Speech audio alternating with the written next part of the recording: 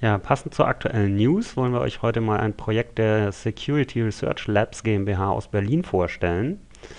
Ähm, das ist ja eine äh, Karte, bei der man äh, einfach mit der Maus über die verschiedenen Länder gehen kann und sich anzeigen lassen kann, wie unsicher die GSM-Netze der verschiedenen Provider sind.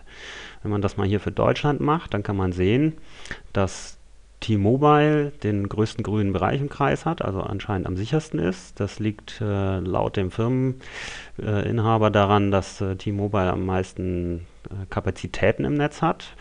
Äh, Vodafone und A Plus liegen hier relativ gleich auf und das Schlusslicht, was die Sicherheit von GSM-Netzen angeht, ist hier O2. Äh, das kann man hier in jedem Land sich anschauen, auch für Frankreich zum Beispiel oder Italien.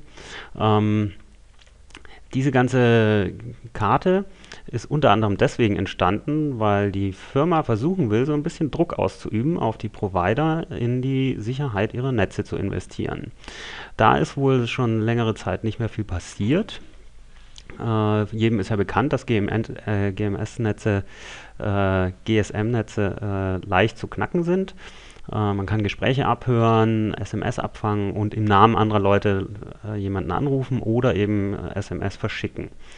Äh, damit hier sich mal ein bisschen was tut, äh, ist es, glaube ich, ganz gut, wenn man so eine äh, Geodatenbasis hat, wo man sagen kann, okay, guckt euch mal an hier in Deutschland, da sieht es für O2 ganz schlecht aus und für T-Mobile, die sind relativ sicher, auch nicht ganz sicher. Ja, ähm, ja.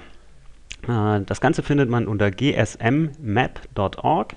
Äh, könnt ihr euch selber mal anschauen dort. Äh, ist sicher ganz interessant.